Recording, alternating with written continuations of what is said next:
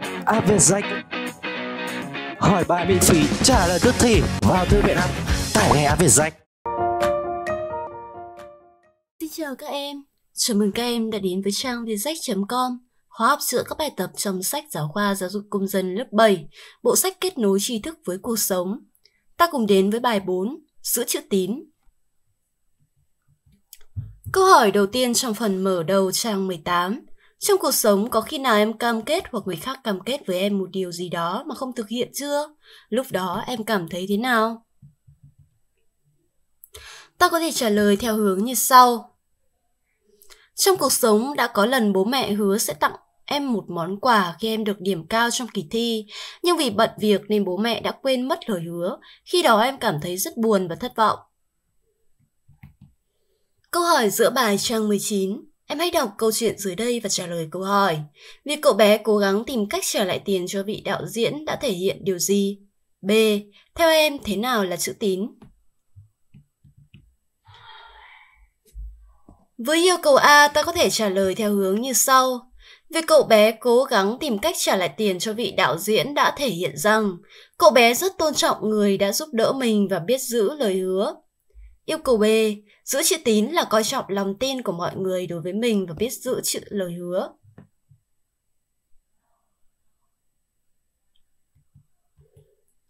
Câu hỏi giữa bài trang 20. Em hãy quan sát bức tranh dưới đây và trả lời câu hỏi. A. Nêu các biểu hiện của giữ chữ tín và không giữ chữ tín trong các bức tranh trên. B. Hãy kể thêm một số biểu hiện của giữ chữ tín và không giữ chữ tín. Với yêu cầu A, các biểu hiện của giữ chữ tín trong các bức tranh trên là Bố mẹ giữ lời hứa tặng quà khi con đạt danh hiệu học sinh giỏi tranh số 1. Đến nhà bạn đúng giờ hẹn dù trời mưa tranh số 2. Hoàn thành tốt nhiệm vụ chức vụ được giao theo đúng lời hứa tranh số 4. Biểu hiện của không giữ chữ tín, không làm đúng nhiệm vụ của mình làm một cách qua loa dối trá tranh số 3. Với yêu cầu B, một số biểu hiện giữ chữ tín khác như biết sửa sai khi mắc lỗi, Nói là làm, trả đồ mượn đúng hẹn, đúng giờ, hoàn thành đúng nhiệm vụ được giao, thực hiện đúng nội quy trường học, nộp bài tập đúng hạn. Một số biểu hiện không giữ chữ tín như nói dối, che giấu khuyết điểm của bản thân, hứa nhưng không thực hiện, không hoàn thành nhiệm vụ được giao hoặc hoàn thành nhưng làm một cách hời hợt, nhận việc nhưng không làm, không tuân thủ quy định. Câu hỏi trang 21 Em hãy đọc các trường hợp dưới đây và trả lời câu hỏi. A. Việc giữ chữ tín đã đem lại điều gì cho công ty ở Nhật Bản? B. Hãy nêu hậu quả của việc không giữ chữ tín. Vì sao chúng ta cần giữ chữ tín? Với yêu cầu A, các em có thể trả lời như sau. Việc giữ chữ tín đã tạo được lòng tin ở công ty Nhật Bản với đối tác, đem lại cho công ty Nhật Bản một khách hàng thân thiết trong một thời gian dài. Yêu cầu B, Hậu quả của việc không giữ chữ tín là làm mất dần niềm tin của mọi người dành cho mình, gây ảnh hưởng xấu đến các mối quan hệ, khó thành công trong công việc và cuộc sống. Chúng ta cần giữ chữ tín vì giữ chữ tín là coi trọng lòng tin của mọi người dành cho mình. Biết giữ chữ tín sẽ gây dựng được lòng tin, mọi người tin tưởng sẽ dễ dàng giúp đỡ chúng ta trong cuộc sống hơn. Câu hỏi đầu tiên trong phần luyện tập trang 22. Em hãy cùng các bạn chơi trò chơi ai nhanh hơn, tìm những câu ca dao tục ngữ nói về việc giữ chữ tín. Ai tìm được nhanh và nhiều câu đúng hơn sẽ thắng. Chia sẻ hiểu biết của em về ý nghĩa của những câu ca dao tục ngữ đã tìm được. Với nhiệm vụ này, các em có thể trả lời theo hướng như sau. Câu tục ngữ một lần bất tín, vạn lần bất tin. Ý nghĩa nếu một lần bạn không giữ lời hứa thì sau này những người bị bạn thất hứa sẽ không còn tin tưởng lời hứa của bạn nữa. Câu ca dao, nói chín thì phải là mười, nói mười làm chín kẻ cười người chê. Câu ca dao này hiểu theo nghĩa đen là khi mình hứa, mình hẹn, mình nói với người khác thì mình phải làm được những điều nhiều hơn những gì mình đã nói. Còn nếu mình nói, mình hứa với người khác mà làm được ít hơn sẽ bị người khác cười chê. Theo nghĩa bóng, khuyên con người ta nên chú trọng hành động đúng với những gì mình đã nói, đã hứa. Câu ca dao, người sau một hẹn thì nên, người sau chín hẹn thì quên cả mười. Câu ca dao này hiểu theo nghĩa đen là có người chỉ hẹn một lần nhưng thực hiện đúng lời hứa, còn có người hẹn đến 9 lần nhưng đều quên hẹn và không thực hiện được lời hứa nào cả. Hiểu theo nghĩa bóng, câu ca dao nhấn mạnh sự trách móc đối với việc không giữ lời hứa. Câu hỏi luyện tập số 2 trang 22. Em đồng tình hay không đồng tình với kiến nào dưới đây vì sao? A. Giữ chữ tín là coi trọng niềm tin của tất cả mọi người đối với mình. B. Làm tốt công việc như đã cam kết chính là giữ chữ tín. C. Để giữ chữ tín cần phải thực hiện lời hứa trong bất kỳ hoàn cảnh nào, với bất kỳ đối tượng nào. D. Chỉ người lớn mới cần giữ chữ tín, trẻ con chưa cần giữ chữ tín. E. Người thất tín có thể lợi trước mắt nhưng chịu thiệt hại lâu dài. Với nhiệm vụ này, ta có thể trả lời theo hướng như sau. Em đồng tình với ý kiến A vì giữ chữ tín là coi trọng, giữ gìn niềm tin của tất cả mọi người đối với mình. Em đồng tình với ý kiến B vì làm tốt công việc đã cam kết chính là một trong những biểu hiện của giữ chữ tín. Em đồng tình với ý kiến C vì nếu hứa mà không thực hiện được thì không còn là giữ chữ tín nữa. Em không đồng tình với kiến D vì tất cả mọi người đều cần phải giữ chữ tín. Trẻ con không giữ chữ tín thì lớn lên có thể cũng không biết giữ chữ tín. Em đồng tình với ý kiến E vì khi đã thất tín thì người bị thất tín sẽ không còn tin tưởng bạn nữa, khi đó sẽ ảnh hưởng xấu đến mối quan hệ của hai người sau này. Câu hỏi luyện tập số 3 trang 23. Trong các trường hợp dưới đây, hành vi nào thể hiện giữ chữ tín, hành vi nào thể hiện không giữ chi tín vì sao? A. H hẹn đi xem xiếc cùng P nhưng do nhà có việc đột xuất nên không đi được. H gọi điện xin lỗi P và hẹn hôm khác sẽ đi. B. V hứa sẽ giúp D học tốt môn tiếng Anh. Tuy bận rộn nhưng V vẫn sắp xếp thời gian để học cùng và hướng dẫn D. Chỉ sau một thời gian ngắn, trình độ tiếng Anh của D đã tiến bộ. C. T mượn C quyển truyện và hứa sẽ trả sau một tuần. Nhưng do bận văn nghệ để tham gia biểu diễn nên T chưa kịp đọc. T nghĩ chắc C đã đọc chuyện rồi nên bạn vẫn giữ lại khi nào đọc xong sẽ trả. D. Bà X mở cửa hàng bán thực phẩm sạch, mặc dù lợi nhuận thấp nhưng bà vẫn vui vì đã góp phần bảo vệ sức khỏe cho mọi người. Có người khuyên bà nhập thực phẩm sạch không rõ nguồn gốc về bán với danh nghĩa thực phẩm sạch, lợi nhuận sẽ cao hơn rất nhiều nhưng bà nhất quyết không làm theo.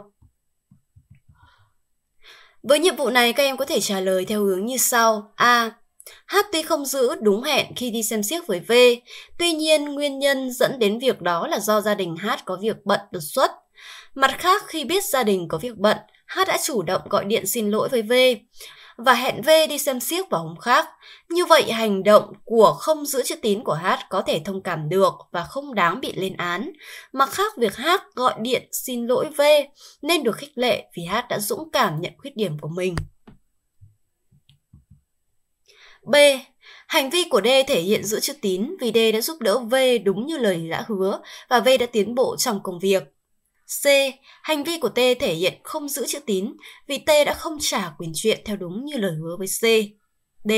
Hành vi của bà X thể hiện giữ chữ tín vì bà X đã bán hàng hóa đảm bảo chất lượng đúng như tên cửa hàng mà bà mở cửa. Câu hỏi luyện tập số 4 trang 23. Em hãy đưa ra lời khuyên cho các bạn trong tình huống sau. À, ngày thứ bảy y giúp mẹ bán rau, có khách đến mua rau họ đã trả tiền và nhờ y nhặt rau giúp, nhưng đã cuối ngày mà không thấy người khách quay lại. B. Bố mẹ hứa sẽ mua đàn cho M nếu bạn đạt được danh hiệu học sinh giỏi. M đã cố gắng học và đạt được danh hiệu đó, nhưng do ảnh hưởng của dịch bệnh, công việc khó khăn, thu nhập giảm nên bố mẹ vẫn chưa mua đàn cho M. Với tình huống A, các em có thể giải quyết như sau. Em sẽ khuyên Y đợi cho đến khi cửa hàng đóng cửa. Nếu khách hàng vẫn chưa quay lại lấy, Y nên cất túi rau cẩn thận đến ngày hôm sau. Nếu khách hàng có đến thì đưa lại cho khách hàng. Tình huống B, em sẽ khuyên M rằng dù bố mẹ đã thất hứa với M, nhưng do hoàn cảnh gia đình nên bố mẹ chưa thể mua được. M có thể đợi bố mẹ thêm một thời gian đến khi tình hình kinh tế của gia đình ổn định hơn. Câu hỏi vận dụng số 1 trang 23. Viết một đoạn văn bày tỏ suy nghĩ của em về lời khuyên. Hãy tiết kiệm lời hứa. Lưu ý, các em có thể trình bày quan điểm của bản thân và có thể tham khảo bài mẫu dưới đây. Lời hứa thường xuất hiện trong mọi khía cạnh của cuộc sống. Ai trong chúng ta cũng từng hứa hẹn và cũng có thể đã từng thất hứa.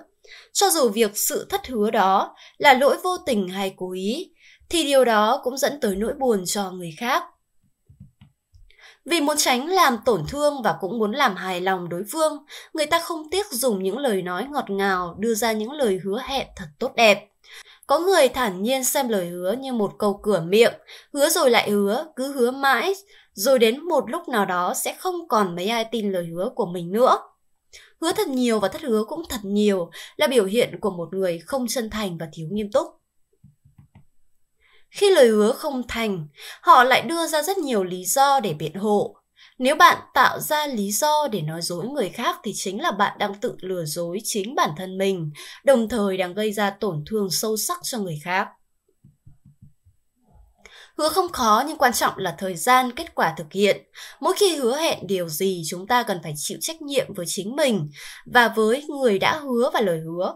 Cuộc sống không phải lúc nào cũng như ta mong đợi. Tuy nhiên, một khi đã hứa thì cho dù có khó khăn đến mấy vẫn phải làm. Đừng có để lời nói như gió thoảng mây bay. Vì vậy chúng ta hãy tiết kiệm lời hứa. Trước khi hứa một việc gì, chúng ta cần phải suy nghĩ chín chắn, khả năng làm được thì mới hứa hứa trong khả năng của mình để hiệu quả trong việc thực hiện lời hứa cao hơn. Giữ gìn lời hứa là một trong những tiêu chí trong việc tạo dựng uy tín và giá trị của một con người. Câu hỏi vận dụng số 2 trang 23 cùng các bạn trong nhóm xây dựng và biểu diễn một tiểu phẩm về chủ đề giữ chữ tín trong học sinh. Ví dụ như giữ lời hứa, trung thực trong thi cử. Lưu ý các em có thể trình bày quan điểm của bản thân và các em có thể tham khảo bài mẫu dưới đây tiểu phẩm trung thực. Giờ ra chơi tiết 2, Hà, tổ trưởng. Loan ơi, cho mình kiểm tra vở bài tập về nhà của cậu. Loan, thôi chết, tối qua mải dự sinh nhật chị mà tớ quên mất rồi. Cậu có thể giúp tớ báo cáo cô là làm rồi được không? Hà, không được đâu, nhớ cô kiểm tra bất ngờ, lại cậu thì sao? Nhiệm vụ của tớ là kiểm tra bài cũ của các bạn trong tổ. Nếu tớ nói dối cô, cô sẽ trách tớ. Loan, không sao đâu. Hôm trước cô vừa kiểm tra tớ xong. Cậu yên tâm đi, cậu cứu tớ một lần đi. Hà, nhưng... Tiếng trống vào học, cô giáo đi vào lớp. Cô giáo, các tổ trưởng kiểm tra bài về nhà cho cô chưa? Chúng ta bắt đầu báo cáo nhé. Hà, ngoảnh nhìn Loan. Thưa cô, tổ 1, các bạn làm bài tập ừ, đầy đủ ạ. À?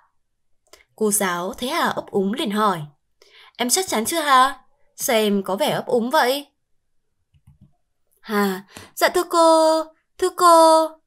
Hà chưa kịp nói thì Loan đứng dậy nói. Loan, thưa cô, em chưa làm bài tập ạ. À. Nhưng vì em xin bạn Hà giúp nên bạn mới báo cáo cô như vậy. Mong cô đừng trách bạn ấy và tha thứ cho em một lần này. Em hứa từ nay về sau sẽ làm bài tập đầy đủ ạ. À. Cô giáo, hóa ra mọi chuyện là như vậy. Loan đã trung thực tự đứng ra nhận lỗi của mình, nên lần này cô sẽ bỏ qua. Lần sau không được như vậy nữa em nhé. Còn Hà, không nên bao che cho bạn việc không tốt như thế em ạ. À. Như thế là em đang làm hại bạn đấy. Hà, dạ, Thưa cô, em xin lỗi cô, em hứa sau này em sẽ làm tốt nhiệm vụ của mình ạ. À. Loan, dạ em xin lỗi cô và bạn Hà. Cô giáo, thôi không sao, bây giờ các tổ khác tiếp tục báo cáo cho cô nào. Và phần hướng dẫn trả lời này cũng đã khép lại video chữa bài tập của chúng ta ngày hôm nay. Cô cảm ơn các em đã chú ý đón xem. Các em hãy bình luận ở phía dưới mọi thắc mắc của các em để cô có thể giải đáp cho các em nhé. Xin chào và hẹn gặp lại các em ở những video lần sau khóa học về rách sự lựa chọn của hàng triệu phụ huynh và học sinh trải nghiệm ngay khóa học của Vietjet